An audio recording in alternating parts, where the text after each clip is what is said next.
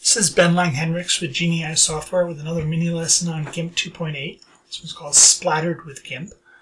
And the idea is to take an image and make uh, part of it splatter. So I'm going to duplicate the image a few times. And on the top one of these layers, I'm just going to select the, the figure uh, and carve it out. I'm going to use the intelligent scissors um, to, to pick around the edges. You don't have to be really perfect for this because the original image will be underneath it, but it helps to get a pretty good cut here.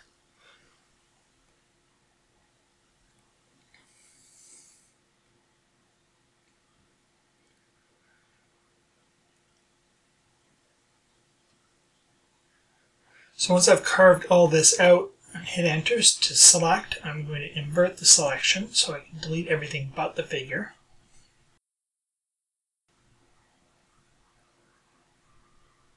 I'll hit clear. Oh, actually, I'm going to need to add an alpha channel first. Okay, oh, now I'll hit clear. And there's still a little bit under arm, so I'm going to pick choose by color and pick that and hit clear again.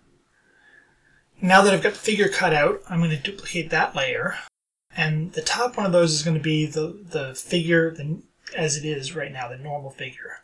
And the second one is going to be the warped figure, and the bottom is going to be the background.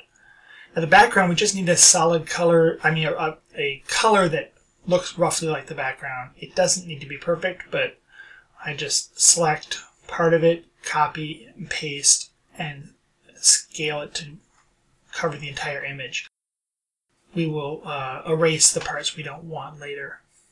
So now we're going to take the, the, the warped figure and we need to put some color over where the splatters are going to be. So we go to Filter Distorts IWarp, which is like Photoshop's uh, Liquify. And we just pull parts of the image over. And that way when the splatters show up, they will be the right colors and they'll look consistent. So now we have our warped figure. And we're going to put um, a layer mask on that. And we're going to make it completely transparent so that you don't see it unless we turn we put things colored in. And then we're going to take the normal figure and make it completely opaque so that you can see the figure. Now we're going to change the brush, and I loaded some some splatter brushes later, which are down in the comments. You can see. And anywhere you put uh, white on, I mean, I'm sorry, uh, black up on the top layer mask, you're going to make holes basically in her. And anywhere where you put white in the bottom layer mask, you're going to color in and create um, the, the splatters.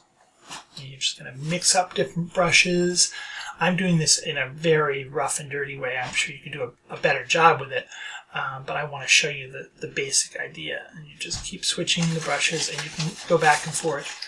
If you ever do too much of one color uh, on either one, you can just undo it by doing a brush effect that returns it to where it was. It doesn't need to be exact. So what you get is a bunch of splatters coming out of her and holes where the splatters were.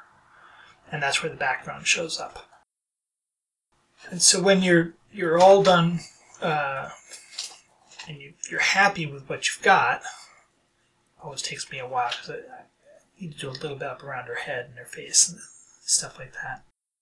But when you've got a, a splatter that you really like, you're going to apply the layer masks, and then the figure will be correct, and then you're going to go to the background, and going to make a layer mask. And this time you're going to use a big soft brush.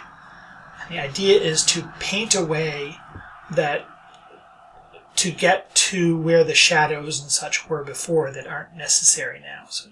I'm just getting back toward the original image on that bottom part.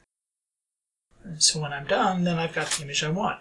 Uh, thank you very much, and please join us for some other mini lessons at minilessons.info.